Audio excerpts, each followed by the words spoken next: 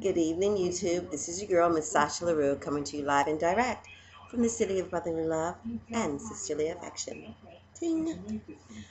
Well, uh, it is raining here in the city of brotherly love and sisterly affection, and I'm not very happy about it, but I kind of like the rain. Um, just getting in from work, um, did dinner for the family. I even clipped some toenails, y'all. And no, not mine. And no, not a little cute little baby's toes. A old rusty, dusty man's toes. And you know that's got to be love. It's got to be something or rights to a 401k down the road. I kid. Anyway, yeah, you know, I had to do the wifely duties and cut toenails. Um, but it's okay. It's a it's a good trade off. Uh, I have an NSV, and uh, as a result of the squatathon, um, my booty. I was just walking back, um, getting my husband set up in the back because he's not feeling too good.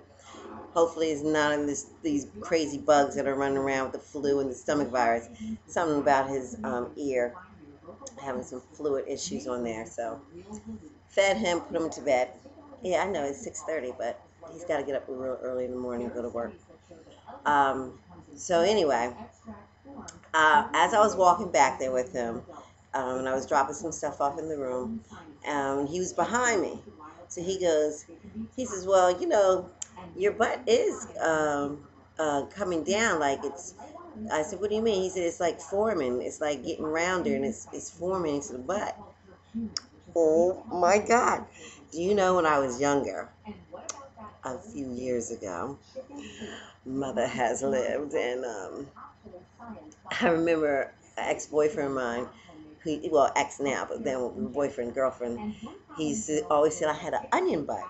Now, see, my body shape is not curvaceous, you know, Pam Grierish. You know, I just have personality.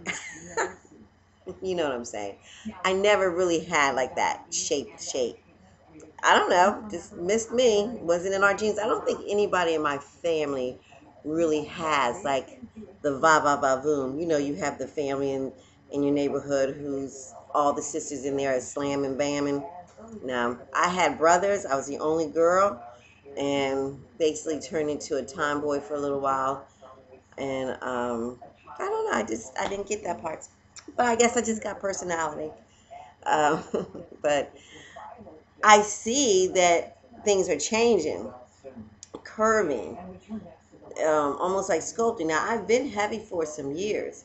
I was heavy for, mm, I've been in the 200s well since 20, um, 28, 20 seven ish, six ish, something like yeah, definitely like 205 or something like that.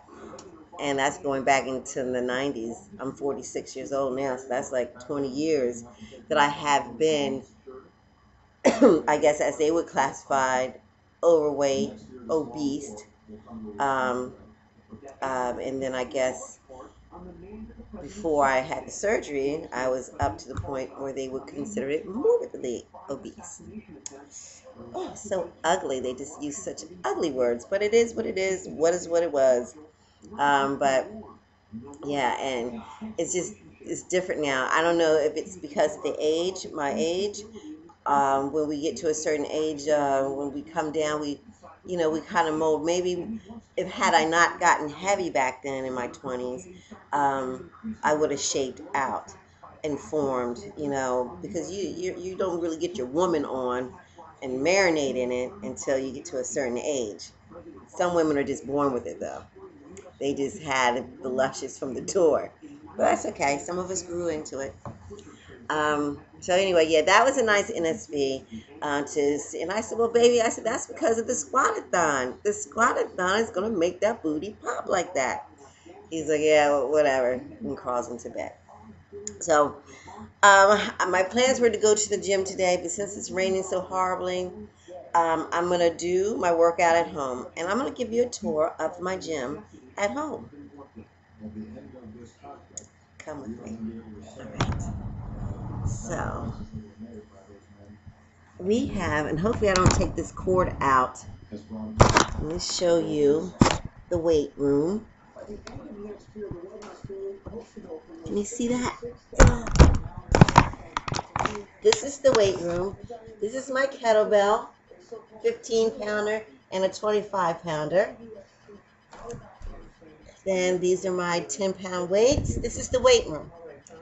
Six pound weights and my bit, I mean, my, oh Lord, and my uh, little, I don't know what I'm doing weights. That don't matter. I don't use them. And then we have, let me show you the cardio room where all the magic happens. Right here. That's it. That's my pad. And that's the gym room.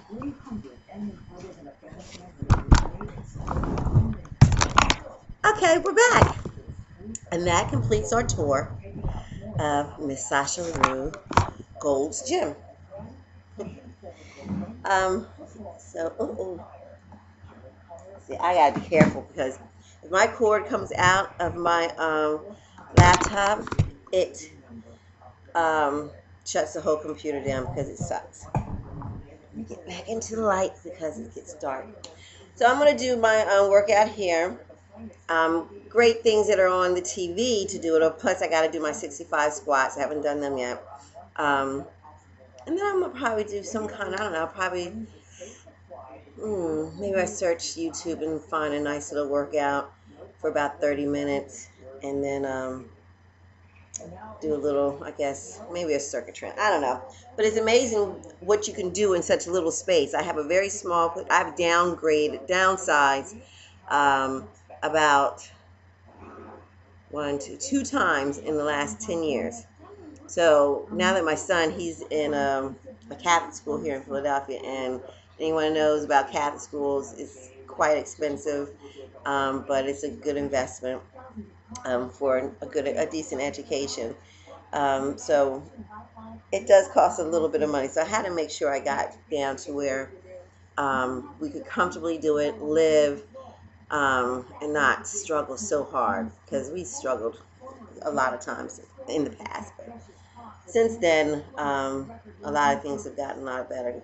Um, we, you all know that um, financial problems can cause a lot of woes, but you know, I, I don't know if it's the surgery or just um, coming into a new level of my life um, emotionally, but I think I, I'm going through a change um, that is making me a better person. And some and and to get to that point, that part, um, and that level, I should say, you go through a little growing pains, and sometimes those growing pains, it's like a, a tooth that's pushing the old one out. It breaks skin, and it hurts, and you got to get through it. A lot of things have happened um, that's changed the course. Well, it's not changed my course. It's God's course anyway. So I'm just kind of like following His His um, His path for me. And I've bumped my head along the way, but it's all good. And um, I'm becoming this person that um, I'm really enjoying. Um, confidence has come, and you know you just feel good about yourself. And when you feel good about yourself, um, it's easier to be good to other people. I've never been bad to people or anything like that. I'm saying now that when I do give, I'm giving and I still have some left. You feel me? And um, so with that um, comes a lot of joy and comes a lot of peace. It also comes a little bit of a sorrow. I don't know if um, if PMS got me yesterday and today, but I had a bad two last 48 hours um, and just sometimes in my mind of just dealing with things and coming to terms with stuff and actually giving up um, the love affair with food and you know realizing that you know I've given food a little bit too much power over me um, in my daily thought. I, it should not be that way. You know what I'm saying? It should not be that. And that's kind of how I was, you know, my approach to that damn scale. And I don't want to be a slave to anybody. I don't want to to go through that stress. You know what I mean? And I don't want to worry about every damn thing I'm putting in my freaking mouth. I don't. I just want this thing. I just want to live healthy, eat healthy, enjoy my food, and use it as fuel. And then, you know, I, I don't want all this with that comes along with it. I'm losing weight. It's coming off. I average 10 pounds a month. Now, I don't know what, I don't know. I went back on all my, because um, when I document my weight, I put it down in my, um, you know, my little notepad thing. And um, I just went down and I just added everything up. And, you know, it, really comes out to be 10, 10 pounds a month. I don't care if it was just one pound on, you know, week one of the month and nothing the next, but it, somehow, some way, I average that out. I ain't mad at that. That's pretty good. I can do that, you know. That's six more months now. By the summertime, I'm gonna be really good. That'll give me time to not worry about too much of the um, the loose skin that's sure to come. Um, maybe I can combat it by putting some weights to my arms and going hard on it. Quick and hard, quick and hard, you know, um, with the weights. Quick and hard. I think you get the best results quick and hard. Northern Southerner said the same thing, and he, you know, he's told y'all, look, he only does 30 minutes. He ain't giving it no more. And he's a beast, right? So you don't really need that, and, you know, need a whole bunch of hour of the of the the weightlifting and stuff like that. Weight lift hard, punch it hard for a half hour, and you're good. Now the rest of the other half hour, another part of the hour, because I do an hour too. I work out with weights. I only give it like 30 minutes hard, and then the rest is like some form of cardio. Um, and that's what's been working for me thus far. Later on, I do want to graduate um, to be able to do like that PX90 that um, Raquel's doing. Um, she's conditioned very well to do it because she's been dedicated um, to her grind, you know, so she she's in it. So when I get to where she's at, oh, you best believe PX90 is going to be somewhere in my life and I'll be right here talking to y'all and dying. But um, it, she's showing us that it can be done and just, you know, we keep our eye out on all all our um, classmates here and you watch and see what they do and and just imagine that being you soon and you'll be kicking and rocking it out also. I and me i, I think i'm going through stages.